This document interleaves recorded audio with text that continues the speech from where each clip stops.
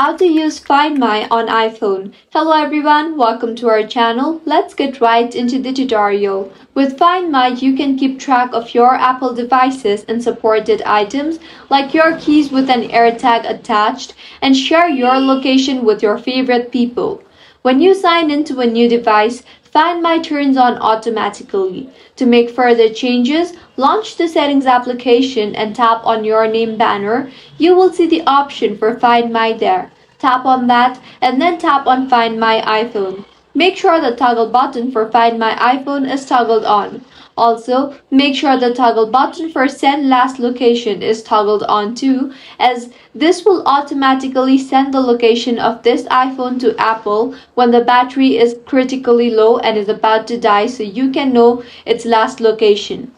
With this Find My phone is successfully set, now open the Find My application on your device. You can use the Find My app to share your location with family and friends. Tap on the People tab Anyone sharing their location with you will be listed here. Tap on the plus symbol and then on Share My Location.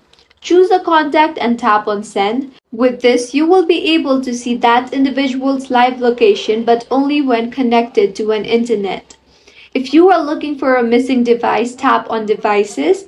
Here you will see a list of devices with Find My enabled and a map with their last known locations. Select the device then swipe up on the handle to see your options. To help find a nearby device, tap play sound. Your device will play a chime or you can tap on directions to see it on a map and track it down.